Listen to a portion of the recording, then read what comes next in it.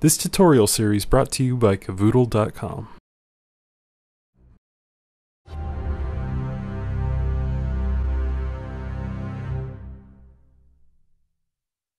Let's load settings onto the GH2. I'm going to use this card, which is the minimum card we need to load the highest quality uh, settings on the card. Uh, in order to get spanning, which means that you could keep recording till the card is full, you're going to need the 95 megabytes a second card from SanDisk. This is only the 45 megabits a second card and it's an 8 gig size. This is a lot slower than the 64 gig card um, which will allow you to span and, and, keep recording till the card is full. Uh, this patch is around about a gigabyte of footage per minute, so this card will get you around 8 minutes of footage. The first thing that you need is you need ptool, which if you go to the gh1-hack.info, um, the ptool software is available at the, the link.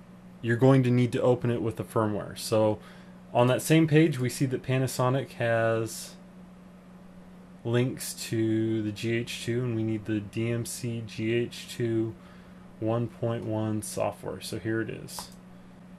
Accept the license agreement, click to the download page when you download that, you're going to extract the bin file, which is the actual firmware file that you're looking for, and open it in ptool. So let's load the firmware. It should be gh2 underscore version 11 dot bin. So we open that up, and now you're going to see uh, available patches, which are, are now settings for ptool and You've got a bunch of buttons at the bottom that are for basic settings.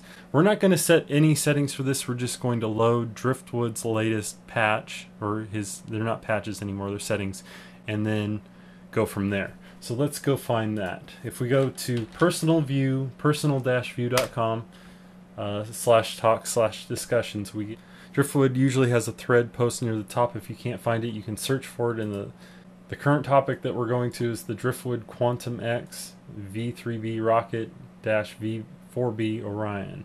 Uh, we're going to put Orion on since that's the, the highest quality settings at a constant near bit rate. So if we scroll down, there will be a zip file that will be Orion. So we're going to download that zip file, open it up, and inside you're going to see uh, a file called setg.ini what we need to do is put the the INI with the settings we need to put that in the same directory as the ptool ex executable. So you just need to drag and drop or um, extract it to the same directory ptool is in. Now if you simply click the G once it will say settings loaded and that means you can double check it by clicking on patches for for users and double clicking through here and seeing that the bit rate is up higher. This says 154. So now that we know that the settings are indeed loaded, we're going to save the firmware and save it to a card. So we're going to take the card here, our uh, little SanDisk card, and we're going to save it to the main directory of this card. So the, the top level directory. Okay, the important thing is is that it needs to have the same exact name as well, not the same exact name, but it needs to be st structured the same. So gh2 underscore v11.bin was the version 1.1 firmware update. Just change the number on that to like, since this is your first hack for the camera, change it to v12 and save that file onto the top directory of the card. It should only take a couple of seconds and it will save on the card. So after we put the firmware on the card, we're going to put it into the GH2 like this with the camera off. And you need to make sure that your battery is full. Turn the camera on and hit the play button. It should load up a screen that says please wait and it will ask you if you want to start version up and you click yes and it will start loading the patch onto the camera or settings onto the camera.